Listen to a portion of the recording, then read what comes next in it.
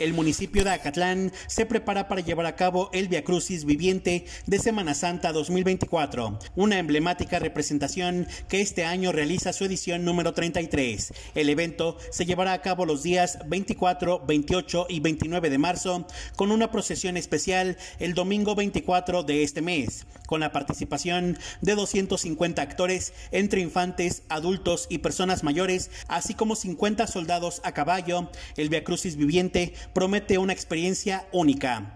El Via Crucis es una manifestación de nuestras tradiciones y cultura que reúne a nuestra comunidad en un momento de unidad, declaró Montserrat Anaya, miembro del comité organizador. Los diferentes horarios de la representación estarán disponibles en los promocionales del evento, permitiendo a los visitantes planificar su visita. Se espera la asistencia de más de 35 mil personas, lo que significará una importante derrama económica para el comercio del municipio. Finalmente, el comité organizador invita a descubrir esta significativa tradición que durante los días festivos también ofrece la oportunidad de disfrutar de la gastronomía y artesanías típicas de esta región. Oscar Recendis para Mezquital al Día.